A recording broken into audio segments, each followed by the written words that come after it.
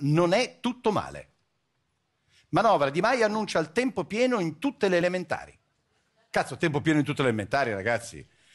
L'ha annunciato Gigino in una diretta Facebook eh, della settimana scorsa. Guardate che questa cosa è bella, eh? Così i bambini, se vogliono, resteranno a scuola anche il pomeriggio, che vuol dire più ore di studio, più tempo con i compagni, meno dispersione, i genitori più liberi.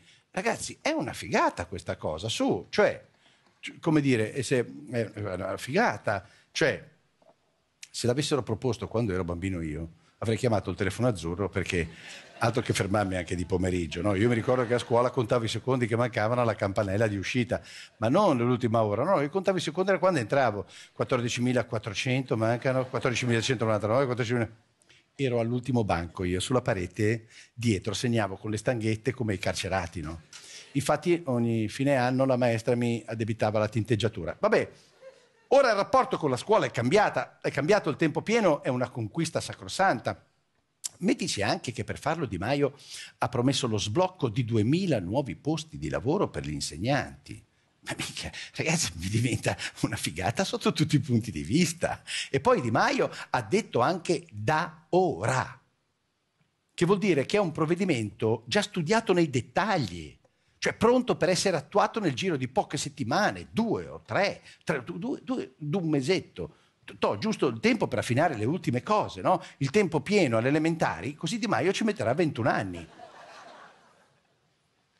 Evidentemente da ora per Di Maio vuol dire tra 21 anni. Gian Antonio Stella sul Corriere ha calcolato che in Italia ci sono 86.000 classi senza il tempo pieno.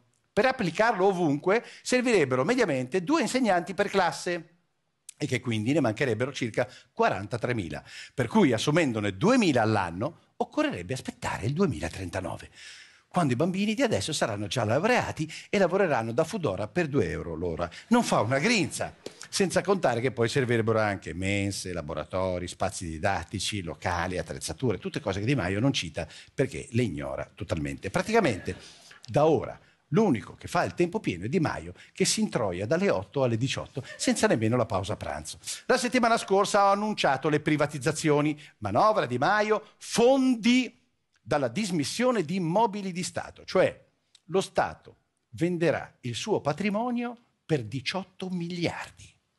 Cazzo, questo è bello, è una figata. Ma la domanda è, chi minchia ce li compra?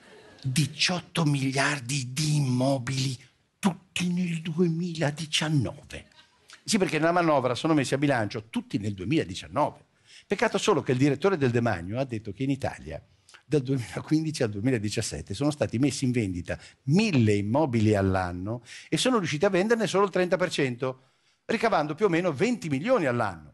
Ora il calcolo è così semplice che potrebbe farlo anche persino Di Maio aiutandosi con una calcolatrice e un'equipe dietro che gli schiaccia i tasti. 18 miliardi diviso 20 milioni fa 900 anni. Fra 900 anni, quindi 18 miliardi invece che nel 2019 li vedremo nel 3000. Più o meno quando eh, i poli si saranno sciolti e il